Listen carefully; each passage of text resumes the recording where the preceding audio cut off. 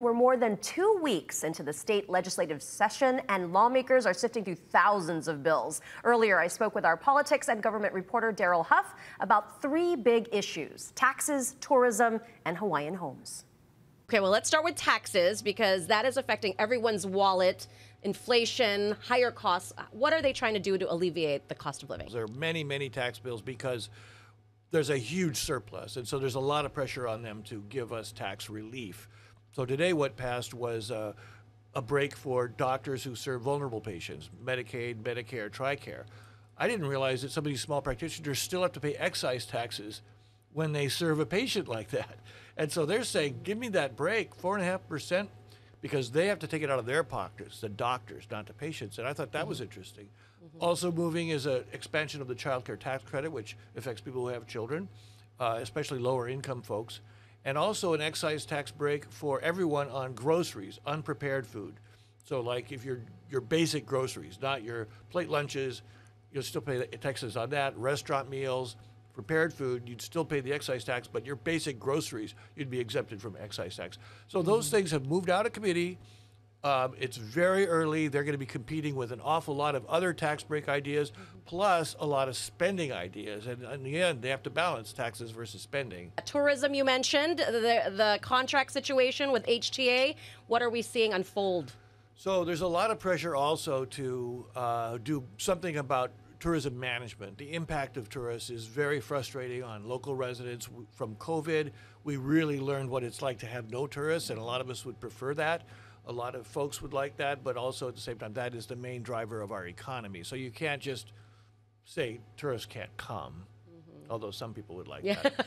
but the green fee didn't the green quite fee, get green to fee where has it evolved yeah. significantly. Uh, it was originally this idea of everyone who comes in on the airport who's a tourist would pay 50 bucks, and then if you're a resident, you get a tax credit back.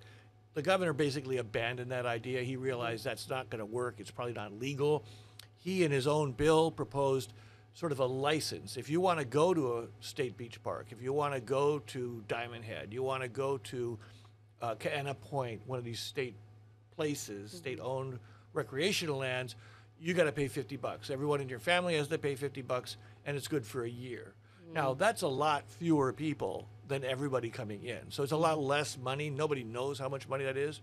But lawmakers have glommed onto that. That actually passed out of a House committee yesterday uh, with kind of flying colors. So I think that they've, because the lawmakers wanted to have something that was tied to the impact that they have, tied to a place. Mm-hmm. So this has the elegance of tying it to a place and also hitting a lot of people, not all of them, mm-hmm. but you'd have to go online and sign up for yeah. it or go to a grocery store and buy this license. And then who would enforce it?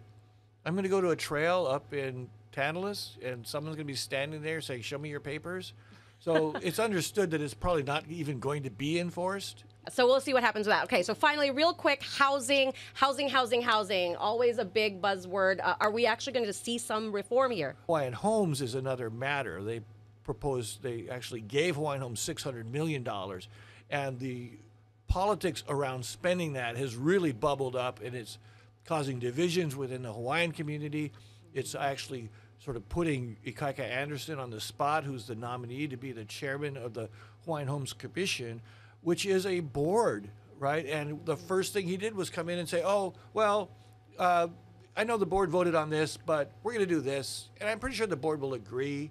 And that got him in trouble with the senators because he's kind of, you know, between a rock and a hard place. Are you supporting your board? mm-hmm. which represents beneficiaries, or are you supporting what the governor wants to do? That brought in the governor's uh, housing coordinator, who is a woman named Nani Medeiros, who's a native Hawaiian woman, and the introduction of her into the mix and Ikaika Anderson's equivocation about who was doing what and what they were going to do pretty much drove Senator Kurt Fevella crazy. Yeah. And he went off at a Hawaiian Homes Committee meeting and basically said some things about Nani Medeiros. Well, he equated him so, to the devil. Well, he didn't really. Yeah. I wouldn't say that he did that. that? He, it's a parable, right? The, mm-hmm. the devil comes disguised as an angel. Mm-hmm, he mm-hmm. was basically saying, in my interpretation, and I think most senators' interpretation that I've talked to, he was just using colorful language to say, I don't trust this person. Yes, This person does not have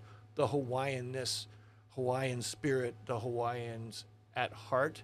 She took great personal umbrage to that, Mm-hmm. and ultimately he had to apologize under the threat of being sanctioned by the Senate for that personal attack. Well, a lot to dissect there, and we have a big week ahead as usual. Definitely tune in to all of Daryl Huff's coverage, all of the stories he mentioned, also on our website, hawaiinewsnow.com. Good to see you, Daryl. Thanks for joining us on Sunrise Weekends. Thanks, Annalisa, and congratulations on the show.